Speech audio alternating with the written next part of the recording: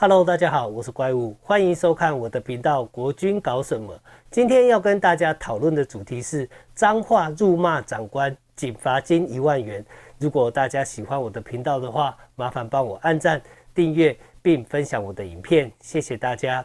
一百一十年一月六日，台东地方法院宣判，台东邱姓女自愿役宪兵在基地训练时不爽，副分队长口气，当众怒呛。干叉娘鸡叉，违反陆海空军刑法，公然侮辱长官罪，判决罚金一万元。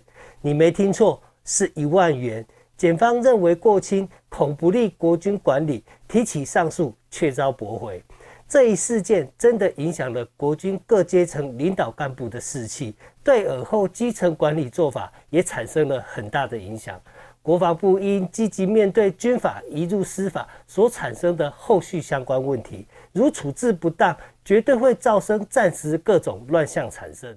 大家要知道，《陆海空军刑法》第四十七条第一项，违抗上级机关或长官职权范围内所下达或发布与军事有关之命令者，处五年以下有期徒刑。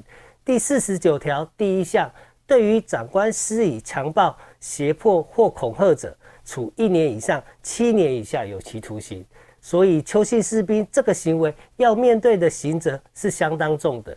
但是最后台东地方法院仅轻判罚金一万元，真的让我不胜唏嘘呀！各位法官们，你们知道吗？军法只是移入司法，不是废除。诶，陆海空军刑法和军事审判法都还在呀。那你们到底是怎么判案的啊？到底你们的考量是什么？虽然我对法律不是很了解啦，但是有期徒刑跟罚金一万元会不会差太多了？而且他这种行为已经严重破坏长官之领导威信，可说是军中的大忌呀。现在是平时，你看不出有什么影响。当战事来临的时候，如果部署都这样对待长官的话，这仗也不用打了，是不是？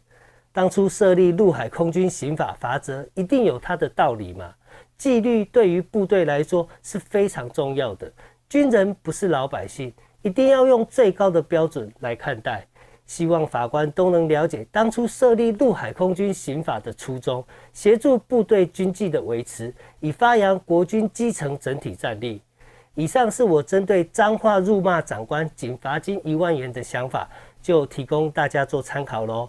如果大家对国军基层各项事务有什么问题的话，欢迎大家在底下留言，我会尽力为大家解答。如果大家喜欢我的频道的话，麻烦帮我按赞、订阅并分享我的影片，谢谢大家。